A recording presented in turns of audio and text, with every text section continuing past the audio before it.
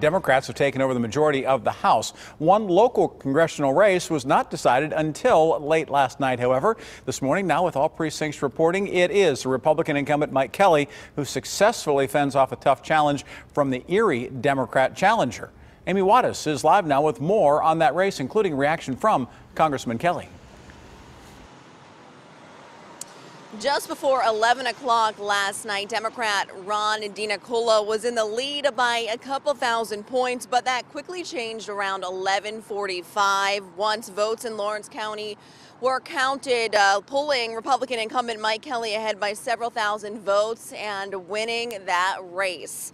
To recap the night for you, the four-term Republican trailed most of the night after DiNicola took a big lead by winning Erie County.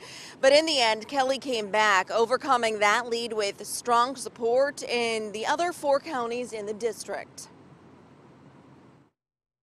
I knew this coming out of the north, it was going to be difficult because it's more blue than it is red.